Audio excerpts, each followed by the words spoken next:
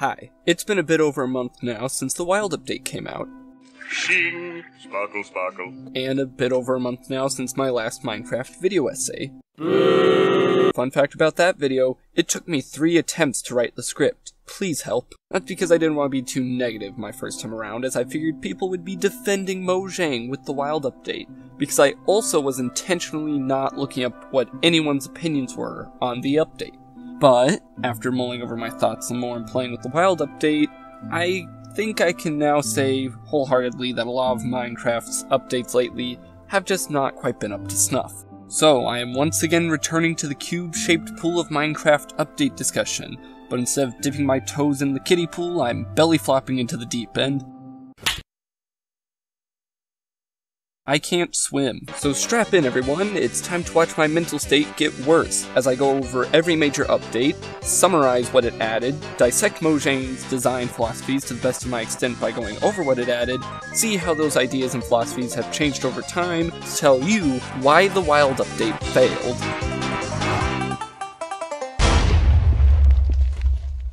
Yes, I'm going to look over every update just to talk about one update. Fuck you. Now, I understand that there were updates before 1.0, but 1.0 is not only the quote unquote official release of the game, but it's also the first version that I played. And besides, it's over 10 years old, so this seems like a good place as any to start. And you might think that over 10 years is a long time to have been playing, but the guys who've been playing since before that are digital boomers, and I don't want to piss them off with my opinions, so 1.0 is our baseline. Since 1.0 is our baseline, I won't touch on it at all, and we're going to pretend that it is the first version of Minecraft and just look at everything after. 1.1 is the first one on the chopping block then, and is a very simple update. 5 biomes, super flat world type, spawn eggs for creative mode, and a few small but notable changes like bows being enchantable, leaves dropping apples, and blacksmiths having loot. This is the Stone Age of Minecraft updates. For the next few updates, everything added will be revolutionary to the game, and will be like watching a fish grow legs. 1.2 adds jungles, redstone lamps, iron golems, villagers having sex, and cats, while also tweaking AI on several mobs. 1.3 added ender chests, tripwire hooks, book and quills, emeralds, trading, villages can now spawn in deserts, pyramids can now spawn in deserts, and jungle temples can now spawn in not deserts. Three updates in, and now it's time that we start crafting our own development Bible. You may be asking, Wiz, when in the actual fuck is a developer Bible? And to that I say, it's a term that I made up. Kind of. Okay, so you guys have probably watched the Minecon live streams before, right? Dedicated wham. Back at Minecon 2020, Jeb, the lead developer of the game, had a segment where he talked about game design, and he showed off this. Minecraft game design book. This book contains all the core principles, design philosophies, and general guidelines for what does or doesn't go into a Minecraft update. I obviously don't have this book, because if I did, this chapter of the video would be a lot shorter. I also don't know what most of the content of the book is. Jeb said that it's only really for the dev team and revealed two key pieces of info about Minecraft's game design from it, which we will use as the first two testaments to our Minecraft Bible. Number one, the player can only do things one block at a time. Pistons can only move one block at a time, levers only activate one redstone device connected to them by one block, so on and so forth. Things like TNT can affect multiple blocks at once, but you don't really have complete control over what blocks it does destroy. Number 2. Anything bad that can happen to the player can be prevented by the player. By anything bad, I do mean things like natural events. Creepers only explode near players, you don't just spontaneously combust next to lava, you can only catch on fire if you fall into it, which means you should have been more careful. Iron Golem killed you, you shouldn't have angered the village. This is why natural disasters like floods and tornadoes will never be added to vanilla Minecraft, because there'd be no real way to prevent or cause them, so it'd be out of the player's control. So these are two clear ideas laid out by Jeb, our Old Testaments if you'd like, but by analyzing the changes made from 1.0 to 1.3, using science and math, we can semi-accurately try and guess what other main goals and design principles were, and by we, I mean me. Me can. So here are the three New Testaments I am adding to the Minecraft Bible. Number 3. The harder something is to obtain, the more useful it should be. Yes, we have the obvious answer with materials you gather from mining, like coal, iron, and diamonds, but it's also seen in a ton of other areas in the game. Ender chests are chests that can link up through dimensions and across infinite distances, so they're pretty difficult to get. Compare that to tripwire hooks. Tripwire hooks are, for all intents and purposes, upgraded pressure plates. They have a larger area of effect and are harder to notice, but since they aren't so much more useful, the relative cost increase is smaller. There's more examples of this throughout the game, but I think you get the idea. Number 4. Give the player easier ways to be creative. This could be as simple as all the dyeable blocks to additions like Superflat and Spawn Eggs. Superflat gives you plenty of space to try ideas out and creative, and Spawn Eggs let you use any sort of mob to test those ideas with. I don't even remember what this was for. Imagine building out a large scale structure in survival and finding out you didn't have enough materials, or that you didn't have enough space, or the design just doesn't look that good. It's always disappointing to find that out during or even after all the work was done. Superflat alleviates that issue on creative by letting you test out ideas first. Number 5. Major additions have a clear and fleshed out use. I'll admit, the definition of major is a bit fuzzy since you could argue something like chiseled stone bricks were a major addition, as they're listed as such on the wiki, but I'm going to define them as anything that isn't exclusively used for decoration and isn't just a retextured block, which might be controversial considering a major part of the building community would probably argue that decorative blocks are major additions, as they contribute to creativity and are just all around nice to have. But it's my video, and I don't give two shits about considering every variant of sandstone while doing this testament. Major additions that follow this rule clearly are things like iron golems, ocelots, book and quills, and emeralds. Each of these have a distinct use that is clear from the moment they were added. They were fully complete day one, didn't feel incomplete, didn't feel like, oh, I hope they expand upon this in a future update. They were just there. Now you may be thinking, hey wait a minute, you're using the terms Old Testaments and New Testaments for this. Are you implying that Jeb is God because he wrote the Old Testaments and you're Jesus for writing the new ones?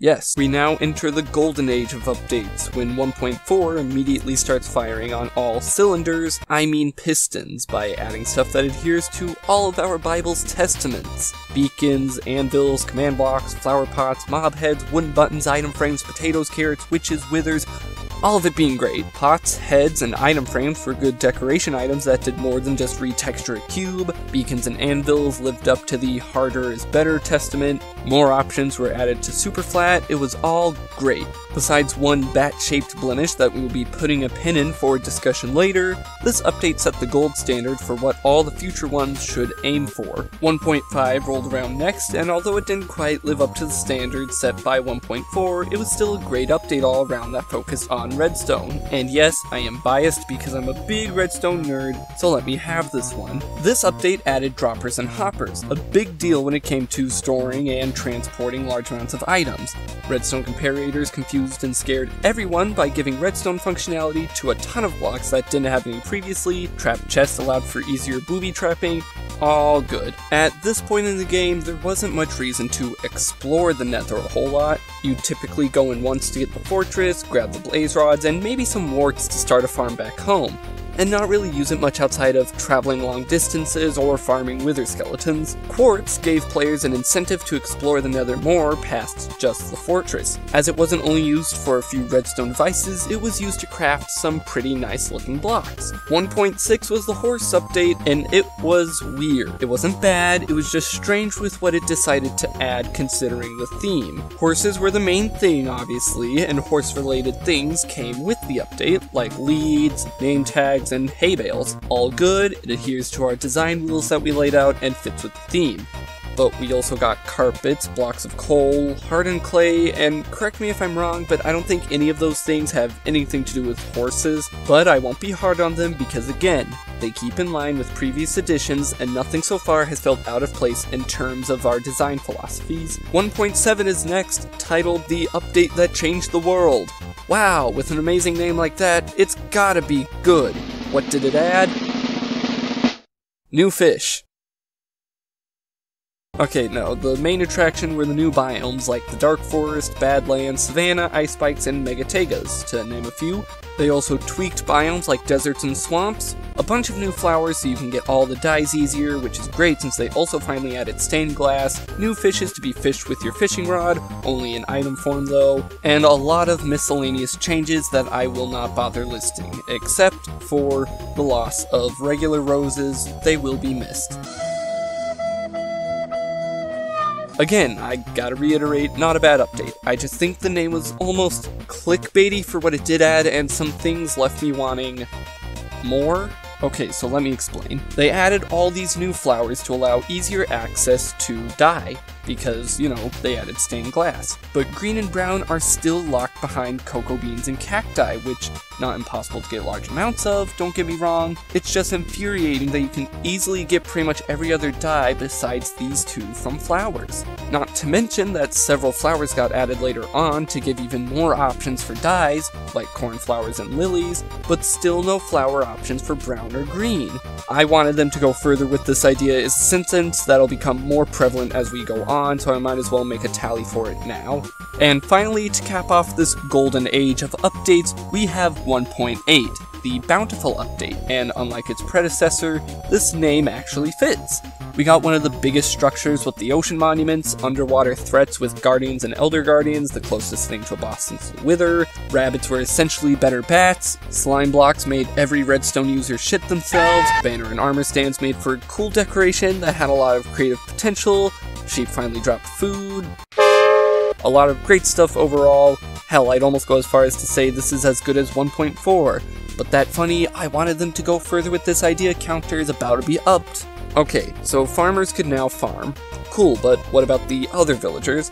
I'm not saying every profession needs special AI, as I'm not even sure how something like clerics would work, but do something, even if it was purely visual.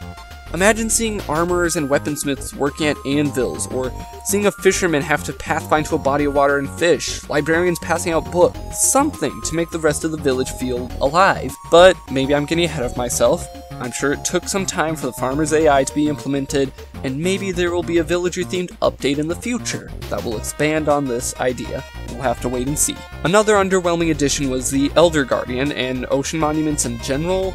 Ocean monuments, to me at least, seemed like they were going to be strongholds but underwater. I am under the water.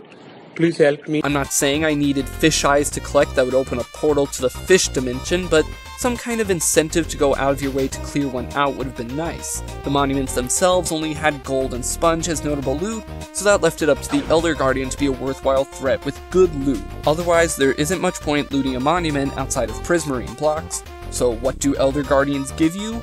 Prismarine shards, a wet sponge, and fish. Water. That's it. So, can I ask, what is the point of making a new mob that is essentially a boss for this part of the world and not giving it anything interesting to drop?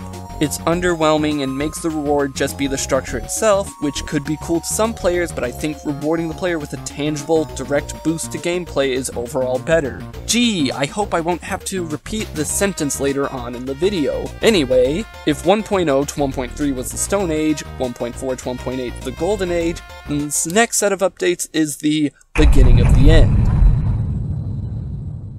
Do do you get it? Get it because like, you know, the next one was 1.9, which you know that was about the end. 1.9, the combat update. Ooh, boy, did this one ruffle some feathers. Okay, so quick tangent for context. Up until 1.9, combat in Minecraft was very simple. You click, you hit things. The only way to boost damage was to use swords or strength potions, and you could attack as fast as you could click. And that's fine, having simple combat is fine, a lot of people liked the simplicity. However, when 1.9 released, Mojang pretty heavily changed how it worked. For starters, now there's an attack cooldown, meaning combat doesn't just boil down to who can click faster. Swords aren't the only melee option now, as all tools now dealt different amounts of damage and swung at different speeds. These two changes, along with the addition of shields, made combat more complicated. And you know what? I like it. Yeah, I said it. I like the combat changes made in 1.9. I don't know how much of a hot take that is nowadays, but if you said that back when the update launched, your head would be put on a pike. And although I'm going to be negative to Mojang throughout most of the video, I will die on this hill that the cooldown and attack speed changes were overall good and beneficial to make combat better. But, despite its name and the dumpster fire of controversy regarding the changes, 1.9 was more than just a combat update, and mm. spoiler for the rest of the video, considering this update as a whole, it's the last great update in my mind, so it's all downhill from here. 1.9 added the left hand, a major advancement in the field of science. 1.9 also greatly expanded on the end by adding in more islands that could be accessed after defeating the dragon, giving more incentive to, you know, kill the dragon. On these new islands are things like chorus fruit, a funky edible that makes you blink around like a wizard, and cities inhabited by those little introverts called shulkers, with the occasional airship containing just might be the most game-changing change to the game. Yeah, the wording was weird, but I'm talking about the Elytra! This. This item right here, this is the epitome of every New Testament. It was difficult to get and thus was also pretty powerful because, you know, it lets you fly.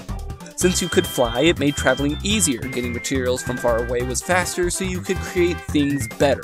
It was stupidly simple to understand what it was for. I mean, come on, it's a giant pair of wings. It's not exactly rocket science.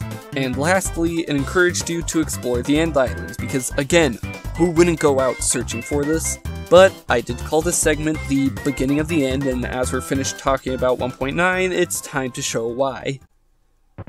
1.10 what can I even say about this update? It's disappointing with a capital D. Coming off the back of 1.9, this one just sucks. I'm sorry. Okay, no, I'm not sorry, so let me explain why it sucks. The name for this update is the Frostburn Update, themed for both hot and cold things. Now, I want you to picture in your mind what they could have done with such an open-ended theme. Maybe improve deserts so anyone could give a fuck about them? Maybe build on those ice spikes biomes that were introduced back in 1.7? Maybe something entirely new that still fits both of these themes and feels very worthy of a major update. Go on, name anything you can think of. How about 5 new blocks, one brand new mob that is infuriating from a design point of view but I will save to talk about later, two mobs that claim to be new but are essentially reskins, a structure that is cool conceptually but I've personally never seen naturally in game, and 20 new sound effects.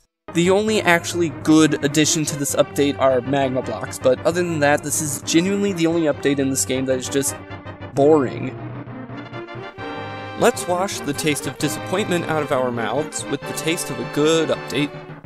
Why the fuck are we eating the updates? 1.11, the exploration update, was pretty good all around, but left me wanting more in some areas. We got llamas, two kinds of illagers, woodland mansions, which were really cool honestly, new villager types, the totems of undying, observers, oh, and another thing that pretty much ticks off all the same boxes the Elytra did, shulker boxes. Finally, a backpack for Minecraft. And I know, I know, lots of people think there should just be a regular backpack, one that you could get in the overworld, perhaps with less space to balance it out for shulker boxes, but I say nay. Nay! You see, in a sandbox survival game like Minecraft, inventory management is important. Adding more slots, no matter how many, will drastically change how a player will go out for things like a mining trip or general exploring. So yes, extra inventory space being limited to very late game is good. Back to 1.11, this update all around was pretty good, but felt like it could have taken some concepts further. Cartographers were a new villager profession added, who sold you two explorer maps, one that led you to an ocean monument, and the other to a woodland mansion. And to this day, the only other map that's been added is one for buried treasures, which we'll talk about later when we get to it at 1.13. 1.12 is next, and here's where my bias for gameplay additions over decorative additions is gonna shine more, as this one's only major claim to fame is the 32 new blocks that are themed around decoration. 47 if you count the new 15 bed colors. That's right, red beds are no longer a right, they're a privilege. This update, while being one of the lamer ones, is also an important update, but not for the reasons you think. This update added parrots, an alright addition, one that I don't have any problems with in of itself. I do have a problem, however, with a change made mid development, and not with the change itself, but more the repercussions and what happened afterwards. When parrots were first introduced, you could breed them by using cookies, which made sense as crackers weren't in the game, so cookies were a good replacement. However, parrots in real life shouldn't eat most cookies, and if you need me to tell you that, you probably shouldn't own a bird. This shouldn't be a problem, as any competent person will know not to try and apply video game logic to real world situations. It's obvious. But we're forgetting that this game's targeted demographic is small children. Small children who might have a pet parrot of their own. Small children who are probably not supervised by their parental figures while playing games and thus will imitate what's shown to the best of their extent. Mojang received large amounts of backlash from the community, specifically how the game is mostly played by children who will undoubtedly try to feed their pet birds cookies, and in response they changed the feedy item to seed to match with chickens. I'm fine with the changes they made, as it didn't really affect the game all too much, but it does paint a picture for what Mojang might or might not do in future updates. And no, I'm not just talking about that recent insect related controversy that everyone likes to complain about being removed from their update. this update also had another weird addition that never officially got added. In the update was a new hostile mob, the Illusioner. It was going to be a third Illager, and it would have used illusions, magic, and a bow to fight the player. I really liked it, as it was not only another hostile mob that had a unique way of fighting, but it was another magical addition, which I really want more of. There's not a lot of traditional magic in Minecraft. Sure, you have things like potions and enchantments, and general fantasy stuff like reanimated skeletons and dragons, but outside of rare occurrences like the Evoker and the Illusioner, no traditional spellcasting or wizardry is in the game. So when they added the Illusioner, I was excited, hoping to see more for it. And then they never officially added it, lock it behind commands to spawn it, but still update it later on with slight tweaks despite never actually adding it. Mojang, it's been 5 years now, why do you do this to me? Needless to say, 1.12 was okay, but left me with some psychological damage. So let's go with 1.13, the aquatic update. The update that made everyone wet. Wait, what? 1.13 was supposed to be a big deal. Up until this point, oceans were pretty much everyone's least favorite biome behind deserts and swamps. They were big, had nothing of interest in them, and your only option for transportation early game were boats, as swimming was too damn slow, so a massive update to the ocean sounded fantastic. Or maybe fantastic. and a lot of the proposed changes and additions were great in concept, but in actuality, a lot of this update felt unfocused outside of the general theme of underwater.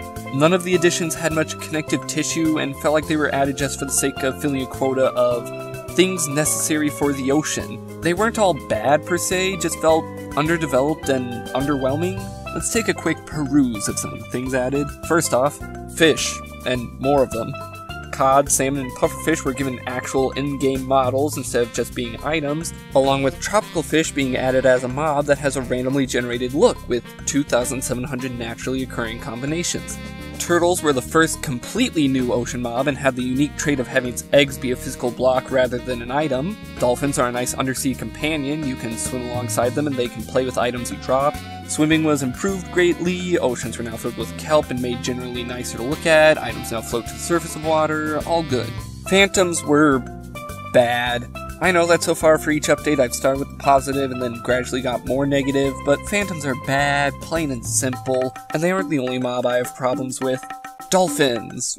When they were announced, pretty much everyone unanimously had one thought.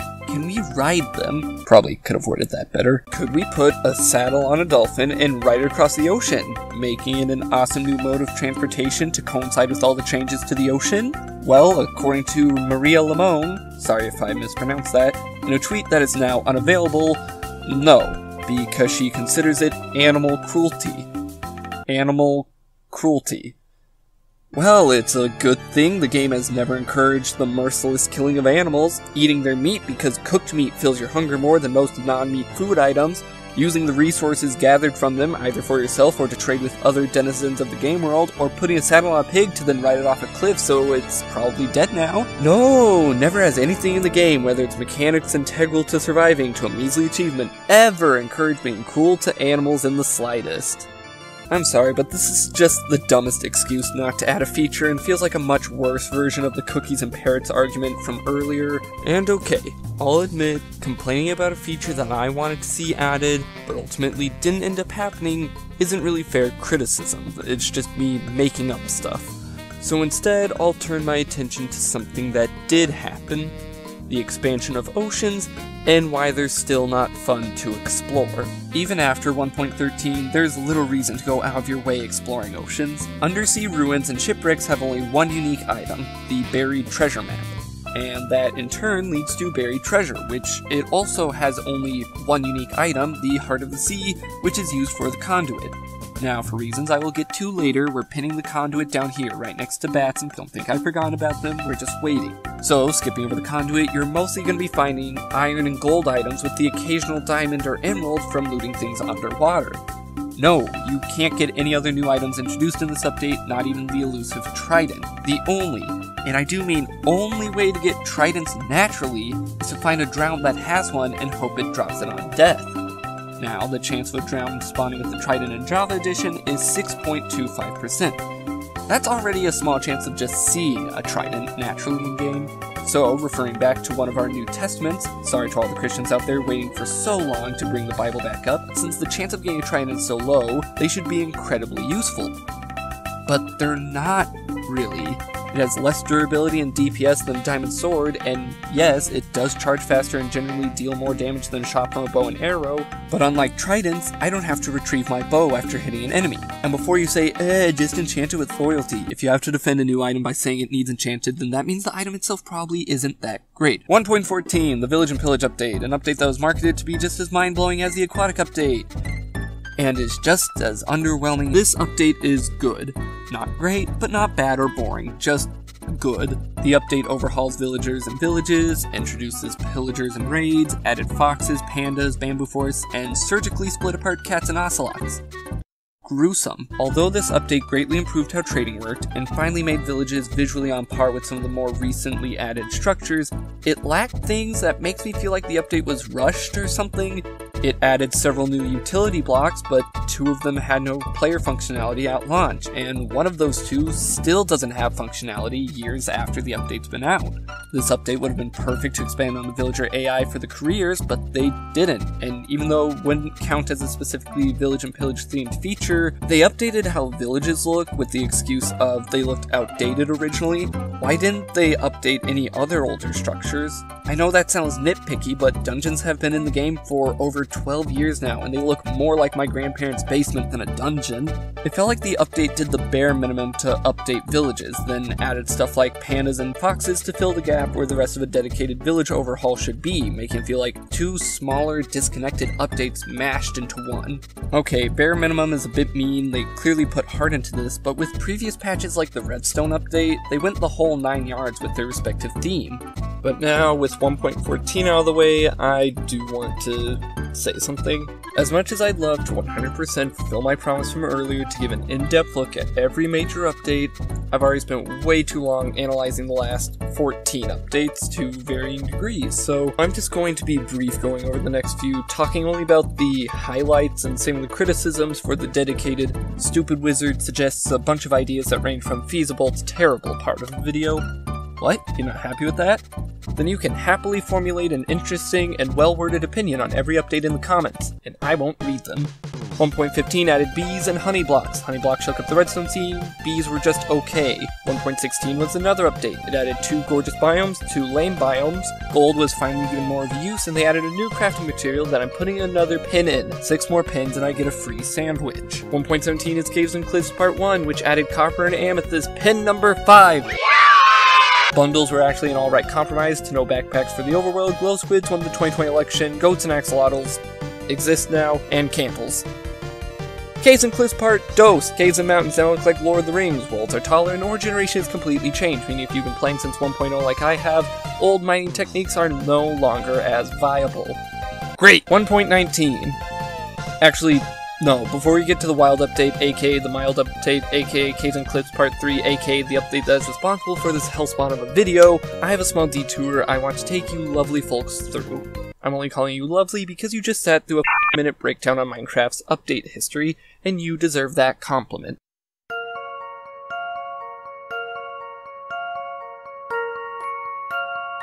Alright, now that we've had a small break, maybe got a snack, maybe a drink or two, I think I'll explain why I'm pausing on talking about the wild update.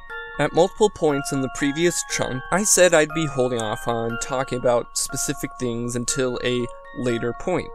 Well, now, boys and girls, it's time to talk about the monsters under the bed, the skeletons in the closet, the third thing that we're we're going to be talking about those things I pinned. First up, a problem I will call the not very useful problem, or to put more simply, the bat problem. Bats in Minecraft are useless. No, they aren't an ambient addition as I've heard some people call them, and no, I don't think every addition in the game can't be useless.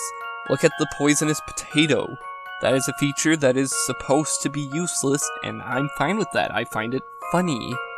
Why I'm upset with bats is because they go against every other mob in the game by filling no role at all.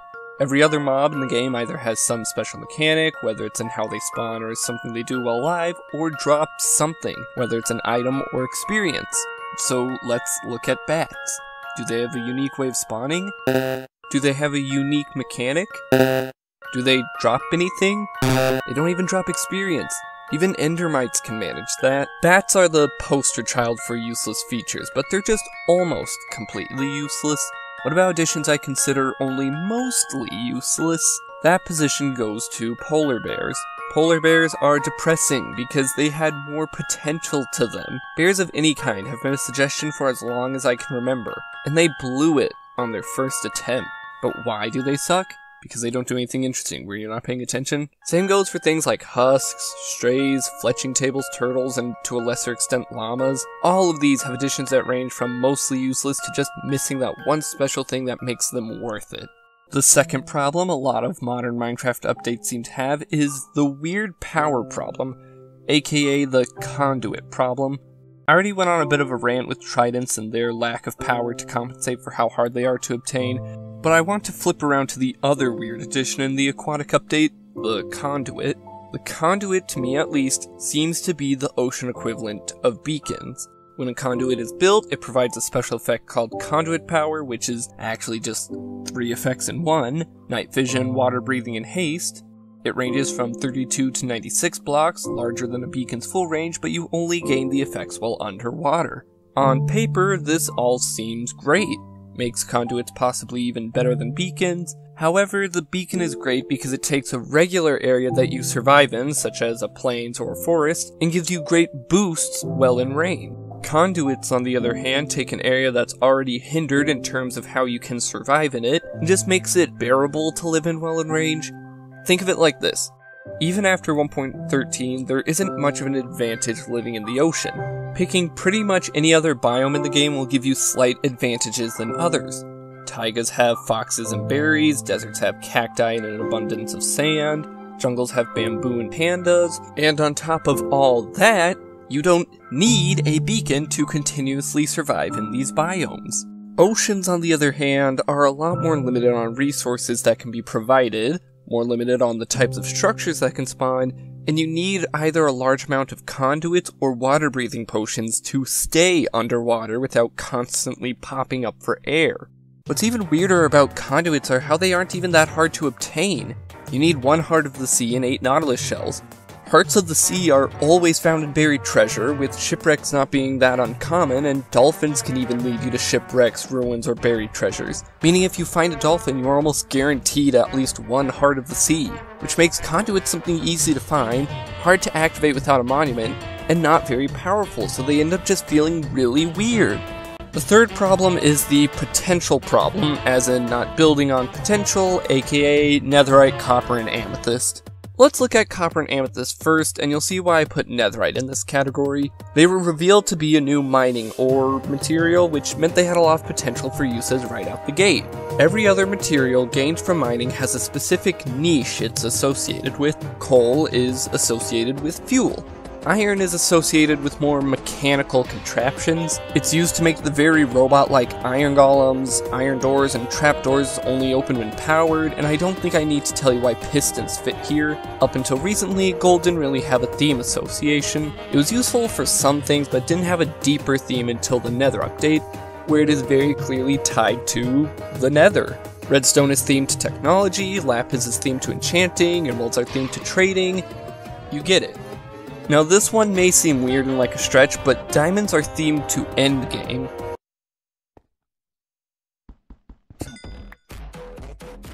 They're required to gather obsidian, which not only leads to the nether and enchanting tables, but is one of the few fully blast resistant blocks you can obtain naturally. Diamond gear is also prominently found all throughout End Cities, so clearly diamonds are supposed to be a big deal. Now, let's see what copper and amethyst themes are. Amethyst is easy, it's light, obviously, I think. Amethyst is used in spyglasses, which real-life spyglasses use special lenses to refract incoming light in a way that makes things look bigger, and amethyst is also used to craft tinted glass, which just blocks out light. Other than the weird sound mechanic when you hit them or walk on them, it's clear Amethyst theme is light. Copper's theme is lightning, I think. I only say so because out of the three crafting recipes it's used in, one is for copper blocks, one is for lightning rods, and the last one is spyglass for some reason, and I don't understand this. If we want to fit to pre-existing themes, shouldn't iron be used on the more slightly mechanical spyglass? I mean, it makes a shit ton of mechanical noises when you use it. I figured iron would be useful, but whatever. Either way, each material having only a couple recipes to fit their respective themes is disappointing especially with these themes as open-ended as light and lightning. But I won't get ahead of myself with the suggestions, I will instead look towards our third example of untapped potential, netherite. Now, laying out all the themes the materials fit in, what theme does netherite fit into? The only one I came up with was direct progression because ever since its inclusion, that's all it's been used for, just another upgrade to your arsenal, which is really disappointing from multiple angles. Firstly, aside from lodestones, netherite is only used for directly becoming stronger by just increasing stats, which is honestly boring. I get that's what every other tier in Minecraft's progression is used as, but at least each tier has a few unique things that can be crafted with the material, or can be found naturally to reinforce their ideas. Second, netherite is really confusing from a design view with the progression, so in Minecraft the typical overall progression for the game is overworld to nether to end. The materials you gather reflect this somewhat. You'll typically use mostly wood, stone, and a bit of iron while progressing through most of the overworld, bumping it up to mostly iron stuff and a bit of gold by the time you hit the nether, and bumping it finally up to diamond armor when you fight the dragon. Netherite, being stronger than diamond, should reflect this by having you either go somewhere new after the end, or be very difficult to find in the end itself but instead you have to go back to the nether for some reason. And I know you could always grind out in the nether for netherite before heading to the end, but if that was the case, wouldn't you be able to find netherite anywhere else? Like, for example, the end cities? The end cities are only accessible after beating the dragon, meaning you should have really good gear up to this point. If netherite was intended design-wise to be the final progression marker, then why would the literal cities at the end of the world contain items that are a step down from that? So what, you may be saying? You pointed out a few issues that you have with a couple things here and there? What the hell does this have to do with the wild update? Because, my dear viewer, unlike most updates that only do things that fall under a couple of these problems, the wild update decided to outperform all of the others by doing all three in one update. Look at you, you overachiever, you. Fuck you. To explain what I mean, I'll go over every major new addition and see which ones suffer from what problems. First, mangrove swamps. I'll start by saying that, contrary to this section, mangrove swamps themselves aren't bad and don't really fall into the three listed problems. In fact, I'll go as far as to say they're alright. My main issue with them is that they make regular swamps, an already mediocre biome, even worse by comparison. Mud is just okay. It's one of those blocks that I honestly think should have been in the game long before now, but there's no expiration date on content, it's a bit of a mute point I guess. I think the drawing mechanics are weird, but other than that it just kind of exists. But oh boy, goat horns are a double whammy because they fall into the weird power and unused potential problems, because they can play a loud sound that can be heard from far away. Now, consider what else was added in this update specifically the stuff I haven't talked about yet because I'm saving it for later, and you could already imagine how an item like this could have loads of uses, with its main gimmick being sound. But nope, it's purely a cosmetic thing, because the sound, despite being louder than most sounds in the game, interacts with things just like any other sound does, which is to say barely does anything. Chest boats are weird. Like, it's a neat feature overall, but it's a similar issue I have with stuff like the better swimming introduced in 1.13. Yes, it's very appreciated that you're making water traversal easier, but most players still would rather not travel long distances by water because the ocean has nothing interesting. Maybe I'm in the minority about this, who knows. Frogs are just a slightly better bat. They work well as an ambient mob, but since they don't add anything gameplay wise, I don't really think much of them. Actually, that last part isn't true. They do add something gameplay wise something stupid. Okay, so I should probably get this out of the way now, but I do not care that fireflies weren't added into the wild update. What I do, however, care about and have a problem with is how they changed frogs to reflect the removal of fireflies from a gameplay design point of view. Originally, frogs could eat a certain amount of fireflies and shit out a frog light, but since fireflies were removed, how would you get frog lights? You have to get a frog to eat a magma cube. So let me get this straight. You have to get to the nether, find a basalt delta, and then either lead a magma cube all the way back to the overworld or frog all the way to the delta, all for a decorative block? Does anyone else think this is fucking stupid? Because I've not heard much people talk about it. I understand they had to change how you get it since fireflies were removed, but couldn't they have made it easy? It's a lamp block for Christ's sake. Why is it so complicated to get? Allays are weird in how they have untapped potential. They're supposed to be little flying companions that follow the player around, picking up stuff for them. They also stop following you if they hear a note block or jukebox, implying they would have more functionality related to noise and sound. Well, would you look at that? This update has multiple things that relate to sound, like skulkers, wardens, and the previously mentioned goat horns. Wouldn't it make a lot of sense that the allay would have some kind of connection whether it's in gameplay or lore, to these other sound based additions in the same update? Nope, because this update is all about adding random shit that has almost no connectivity between itself under the umbrella of Wild Update. The more I look into this update, the less sense it makes. Alright, here's the big one Ancient Cities. This is it, folks. This is the part of the update that broke me. It was because of these stupid cities this video exists.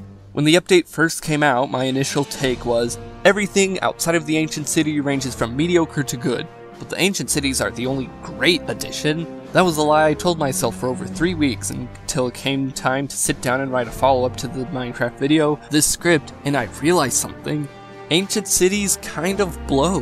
Let's take them apart piece by piece. I already talked a decent amount about echo shards and why they frustrate me in the previous video, so instead the first item we'll look at is the recovery compass. On paper, a compass that points you to the place you died at sounds great, but it fails in two, count them two, ways.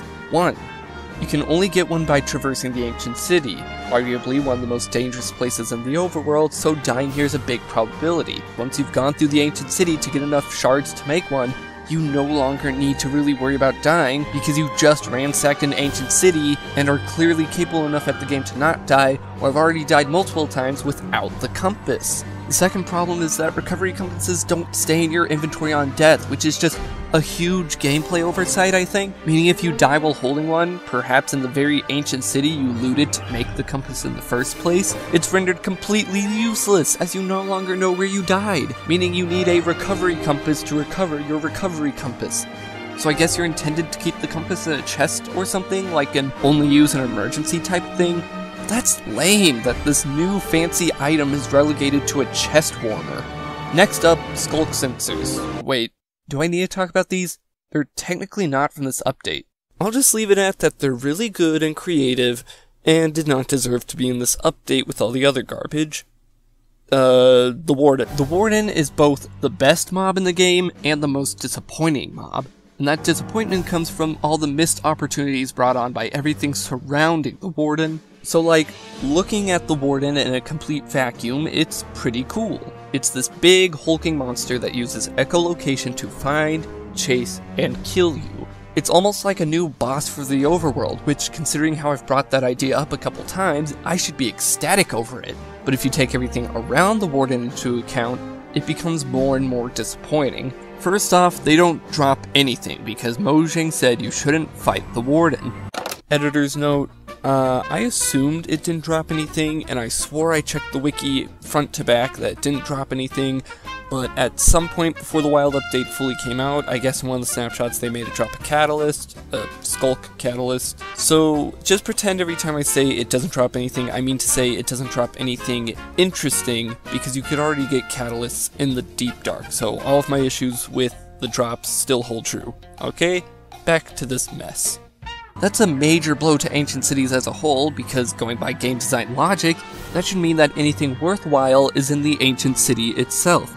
Second, they really overhyped the hiding and surviving aspect of the Warden on its initial release. Go back and watch that original video. The Warden is shown just roaming around a relatively tight cave deep underground. It seemed like it was going to be a threat you could just rarely encounter in the deep dark, in these caves that can be spacious at times, but other times are smaller spots in that you could get stuck. Like in the trailer. Imagine if they kept it like that. You could be wandering the deep dark in these tight, treacherous caverns, maybe a bit lost, but not worrying too much, and you hear it approaching. Suddenly, you care a lot more about where you are or how to get out. Contrast that to how the Warden spawns now. Ancient cities are big as fuck, and have way more space than most caves. Visually, that works in their favor, but making it more open limits the difficulty that would be associated with escaping the Warden, as you have a lot more wiggle room for things you could do. The Warden also doesn't wander the cities, it only spawns if you mess up and make too many mistakes. Now, I will admit, all of these follow with our design philosophies, having big open cities, and the Warden spawning being completely dependent on how the player acts, fits within our testaments about bad things happening to the player and giving them easier ways to be creative. But this is sacrificing an interesting new way of approaching a new mob and new biome, which I find funny because multiple things in previous updates have been weaker because they skewed away from the usual Minecraft design rules, but now, the one time we're going against regular design philosophies would make a new, difficult, and interesting challenge for the player? Nope, let's play it completely straight and simple. Mojang, what is your deal? That's not the end of the Warden talk, no, because now let's look at it from a lore perspective. I'll keep this brief because Minecraft has never had super expansive or rich lore, but it's always had enough for things to make some sense and to let you fill in the gap. Enderman's eyes used to be green until the dragon showed up. Piglins live in bastions because they can't survive in the overworld. The Wither is some ancient evil since he's depicted in paintings and hieroglyphs. These are very simple, and that's intentional. It's vague enough to let you fill in the gaps yourself, but give enough information to get you interested in trying to piece it together. There's also the importance of names. Guardians guard the ocean monuments. Vex means to anger or worry, so that's why Vexes are so annoying. Endermen are men who come from the end. It's all simple and on the nose, but that makes wardens even more confusing. What is a warden in real life? Typically, it's someone who watches over a prison, so that brings up a couple questions for the Minecraft warden.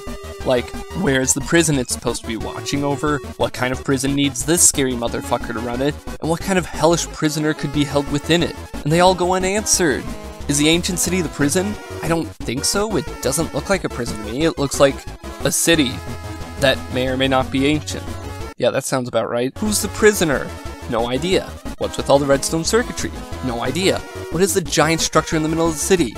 No idea, but that's another thing to talk about, so let's go to that. In the middle of the city is a weird ring of reinforced deepslate, block that can't be broken or pushed by pistons.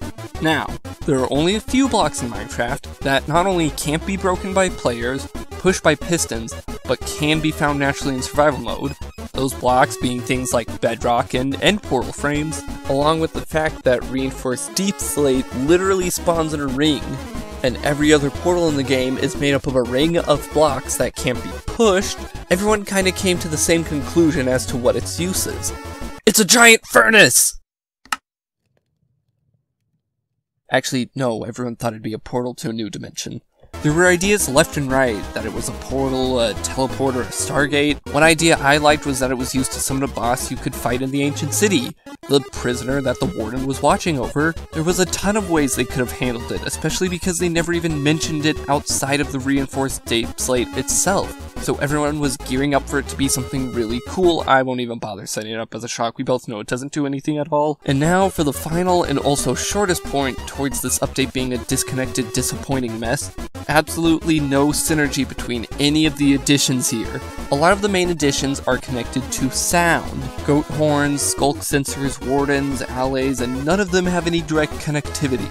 This just feels like the most missed of opportunities. It would have been easy to do something to give them at least a little bit of interconnectivity, even if it was just some simple surface level connections. Goat horns are loud, so their sound could have activated wardens and sculk sensors from further away than most other sounds. Or even better, goat horns could be used as a way to temporarily make the warden dizzy and distracted with how loud it is. Echo shards could have been used on allays to duplicate them. It makes sense, they're called echo shards. Allays go towards note blocks that give us more use to the echo shard. Oh wait, no, because apparently they did that, but for amethyst shards, because they, and I quote, have a musical sound that fits with the allay. Oh, now you want to start making gameplay connections based on themes and how they fit together when the Amethyst theme was clearly light and not sound? And instead of taking the obvious way out with echo shards to duplicate the allay, you take Amethyst shards that already have a couple uses. Mojang, what are your designers on? Because I think I need it if I continue this video any longer. Now we come to the final part, the part where I suggest ideas that range from feasible to terrible. In the words of the wise Uncle Daniel, I personally think that if you're going to be dishing out roast, it's only productive to present your own ideas of what can be done to fix the situation. this chapter will have the least cohesion. I'm just going to rattle off some ideas I had to improve different parts of the game, whether it's things I complained about in the video or general tweaks here and there that I never even mentioned. Look, we passed the 30 minute mark a while ago, I don't need cohesion, if anyone clicked off the video, it was before this point. Chainmail armor, saddles, and horse armor should all be craftable. It's stupid that after all this time you can't reliably get these items in survival. We have the materials. After 1.9 change combat, they should have added more weapon types for variety, or better tweak the stats on tools to make them all viable rather than just making axes and swords be the only weapons. Some ideas for weapons I have are a two-handed big sword that takes up both hand slots and a renewable ranged weaponry type thing like throwing knives. Give every mob I called useless some worth. Baby polar bears could be tameable, but only if the mother's still alive, so we could figure out some way to gain their trust, maybe with fish. Husks and strays should either have a unique drop or more diverse fighting strategies, and just remove bats. They have no purpose. Ever since curses were introduced, we've only had two, so here's a few ideas I had for some new ones. Curse of Moving. The item will randomly move from its current inventory slot to any other compatible slot. Curse of Weight. An armor-only curse makes you move slower the more item slots are filled in your inventory, going from 1% slower with only one slot filled to 10% slower on a full inventory. And Curse of Phasing. You randomly miss attacks. That's it. Sometimes you just don't deal damage when you attack, I don't know. Fully add illusioners, we need more magic. Make dolphins rideable in some way, I don't care if it's with a saddle or a chariot or whatever. The idea of riding a dolphin across the sea is too fantastical in my opinion to count as animal cruelty for a video game. Also add pirate ships, with pirate skeletons, and pirate hats. This one's gonna be a bit complicated, but make netherite customizable. You guys ever play with the Tinker's Construct mod? It work like that. Netherite tools and armor have the same base stats as their diamond versions, but you can enhance the netherite ones by adding different blocks or items as materials inside of a smithing table. Use cactus to give it thorns or copper for efficiency, but it's stacked with enchantments, meaning you can effectively get efficiency 6 without a beacon, while still needing to go through the trouble of finding netherite. Rework conduits to fully be beacons of the sea and make tridents craftable if being a bit costly. This is another dumb complicated one, but hear me out. Amethyst Piano. Since Mojang wants to say Amethyst theme is light and sound, we'll give in. Amethyst pianos work like how you'd expect. Right click the block, play a tune. But there's a second utility for it. I want to give it a Mario Paint music composer and trigger it with redstone. Have it only be possible to play one instrument per piano, and now players have the ability to shrink down giant note block songs into a much smaller space, allowing note block music pretty much anywhere. And finally, make it so feeding a frog glowstone makes it regurgitate a frog light. Also, give the warden an interesting drop. Also, do something with the deepslate ring other than confuse players with it. And finally, before I do a little bit of an outro, I just want to say I hope I didn't come off as ungrateful. I understand that Mojang doesn't need to be doing these updates, they could have just left it at 1.0, or worse, done DLC that cost money. But I wanted to give my two cents on Minecraft's game design, hopefully without coming off as too high and mighty about it. Thank you for watching, I'm sorry this video took a while. I wasted enough time with the video itself, so I'll leave the outro at a simple like, subscribe, check the links in the description for other social medias, and have a good day.